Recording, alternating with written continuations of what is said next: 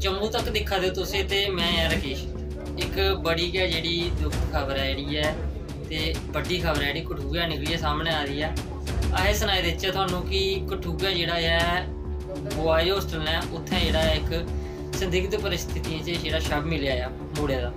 ਤੇ ਉਈਆਂ ਗੈਸੇ ਸੁਣਾ ਦੇ ਕਿ ਜਿੰਨਾਂ ਕੇ ਮੂੜੇ ਜਿਹੜੇ ਉੱਥੇ ਹੋਸਟਲ 'ਚ ਰਹਿੰਦੇ ਹੋਣੇ ਦੇਖਿਆ ਕਿ ਇੱਕ ਸ਼ਬ ਜਿਹੜਾ ਉਹ ਲੜਕੇ ਦਾ ਤੇ ਉਹਨੇ ਜਲਦੀ ਜਲਦੀ ਕਿ ਉਹਨੇ ਫਟਾਫਟ ਜਿਹੜਾ ਹੈ, ਪੁਲਿਸ ਕੀ ਜਿਹੜਾ ਇਤਲਾਹ ਕੀਤਾ।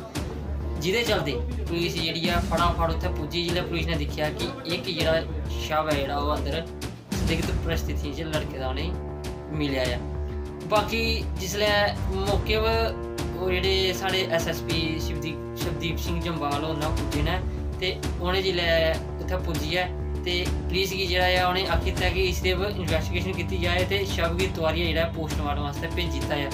ਤੇ ਬਾਕੀ ਜਿਹੜੀ ਮ੍ਰਿਤਕ ਦੀ ਜਿਹੜੀ, ਜਿਹੜਾ ਮਰਿਆ ਆ, ਉਹਦੀ ਜਿਹੜੀ ਪਹਿਚਾਣ ਆ, ਉਹਦਾ ਨਾਮ ਤੇ ਤੁਹਾਨੂੰ ਸੁਣਾਈ ਦਿੰਦੇ ਆ। ਉਹਦਾ ਨਾਮ ਜਿਹੜਾ ਆ, ਅਰੁਣ ਕੁਮਾਰ ਆ ਤੇ ਆਖਦੇ ਉਹ ਜਿਹੜਾ ਆ, ਪਠਾਨਕੋਟ ਦਾ ਰਹਿਣ ਵਾਲਾ। ਬਾਕੀ ਇੱਕ ਬੜੀ ਵੱਡੀ ਜਿਹੜੀ ਖਬਰ ਹੈ ਤੇ ਕੰਨੇ ਦੁਖਦ ਖਬਰ ਹੈ ਕਿ ਇੱਕ ਸਟੂਡੈਂਟ ਬॉयਜ਼ ਹੋਸਟਲ ਚ ਜਿਹੜੀ ਹੈ ਜਿਹੜੀ ਮਤਲਬ ਕਿ ਲਾਸ਼ ਲੱਭੀ ਹੈ ਜਾਂ ਸਥਿਤ ਪਰਿਸਥਿਤੀ ਵਿੱਚ। ਬਾਕੀ ਬਾਕੀ ਦੇ ਇਨਵੈਸਟੀਗੇਸ਼ਨ ਦਾ ਮਸਲਾ ਹੈ ਉਹ ਜਿਹੜੀ ਇਨਵੈਸਟੀਗੇਸ਼ਨ ਸ਼ੁਰੂ ਕਰ ਦਿੱਤੀ ਗਈ ਹੈ ਤੇ ਇੱਕ ਵੱਡੀ ਖਬਰ ਹੈ ਜਿਹੜੀ ਅੱਜ ਤੁਹਾਨੂੰ ਸੁਣਾ ਸੁਣਾ ਸੁਣਾਈਤੀ ਹੈ ਕਿ ਕਠੂਗਾ ਦੇ ਬॉयਜ਼ ਹੋਸਟਲ ਵਿੱਚ ਇੱਕ ਮੁੰਡਾ ਜਿਹਦਾ ਨਾਮ ਹੈ ਅਰੁਣ ਕੁਮਾਰ ਜਿਹੜਾ ਹੈ ਪਠਾਨਕੋਟ ਦਾ ਰਹਿਣ ਵਾਲਾ, ਉਹਦੀ ਲਾਸ਼ ਲੱਭੀ।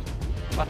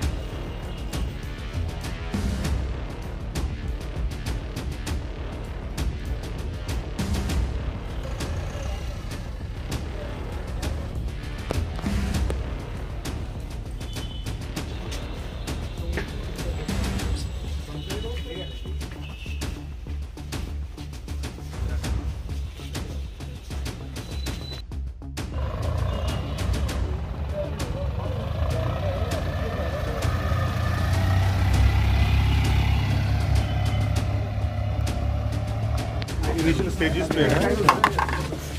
लड़का जो है ये स्टूडेंट है अरुण कुमार तो ये लिटरेचर अभी रूम में मिला है इसके बॉडी में। तो अभी इन्वेस्टिगेशन चल रही है अभी ना इनिशियल स्टेज में।